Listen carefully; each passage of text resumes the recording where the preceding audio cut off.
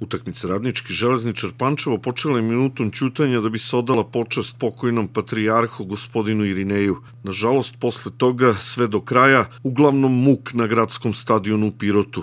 Gosti su pobedili sa 1-0, a igru Belih možemo da opišemo jednom rečiju, nemoć. U prvom poluvremenu Beli su uputili samo jedan udarac u okvir gola protivničkog tima. Pokušao je Petrović, Knežević dobro odbranio.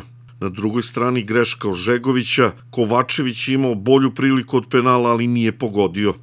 U 26. minutu trenutak odluke. Odličan kontranapad gostujućeg tima, Petrov nije do kraja ispratio Zoricu, a on lagano asistenciju Jovkovića pretvorio u gol za pobedu. Na početku drugog poluvremena Kukolj je svojim ulaskom uneo malo živosti kod Belih. Prvo je dobro šutirao u 50. minutu, ali golman Težević opet brani. Dva minuta kasnije, dobar dribling Kukolja, posle centra šuta umalo Marković nije savladao svog golmana. Najbolju priliku za radnički nije iskoristio Tolić u 70. minutu. Beli su do kraja utakmice napadali, ali bez pravih prilika pred protivničkim golom. Železničar je zasluženo pobedio sa 1-0, tako da su Pančevci kući otišli pevajući.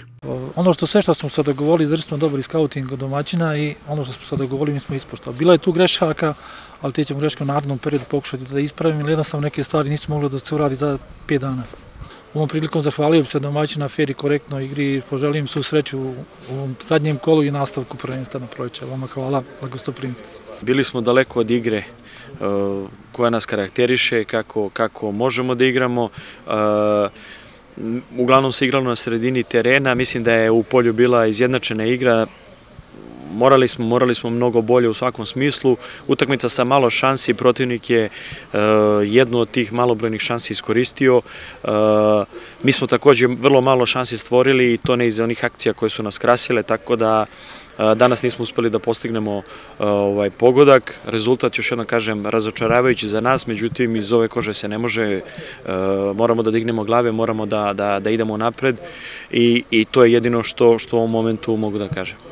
U posljednjem kolu jesenjeg dela prvenstva Prve lige Srbije radnički gostuju u Leskovcu gde se sastaje sa ekipom Dubočice.